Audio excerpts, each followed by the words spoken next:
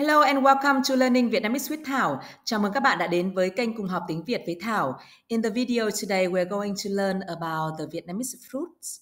Hoa quả Việt Nam. Quả vải. Quả vải. Quả nhãn. Quả nhãn. Quả đào quả, đào. Quả mận quả mận quả, chuối. Quả chuối. Quả, quýt. Quả quýt. Quả, khế. Quả khế. Quả, mít.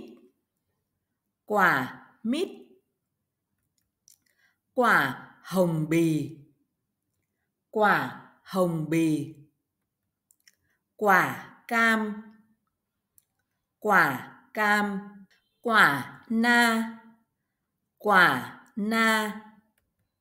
Quả nhót. Quả nhót. Quả táo ta. Quả táo ta quả mơ. Quả mơ. Quả xấu. Quả xấu.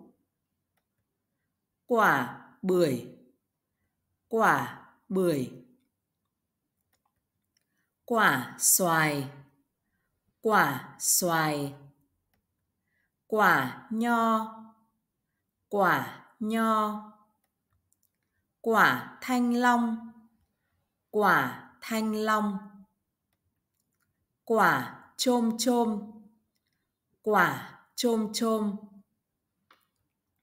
quả dưa hấu, quả dưa hấu, quả sầu riêng, quả sầu riêng, quả măng cụt, quả măng cụt, quả dừa quả dừa.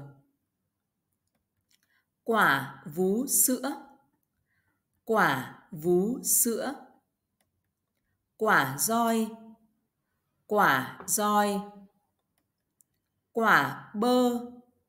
Quả bơ. Quả chanh. Quả chanh. Quả chanh leo. Quả chanh leo quả dứa. Quả dứa. Quả đu đủ. Quả đu đủ. Quả hồng. Quả hồng. Quả hồng xiêm. Quả hồng xiêm. Quả cóc. Quả cóc.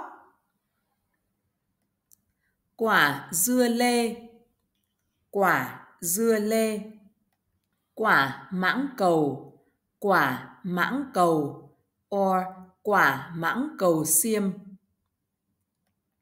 quả me quả me quả ổi quả ổi quả sa kê, quả sa kê, quả quất quả quất quả sung quả sung quả bòn bon quả bòn bon quả dưa vàng quả dưa vàng Thank you for watching my video. If you like the video, please click like and subscribe to my channel. Thank you and I look forward to seeing you in the next one. Bye bye.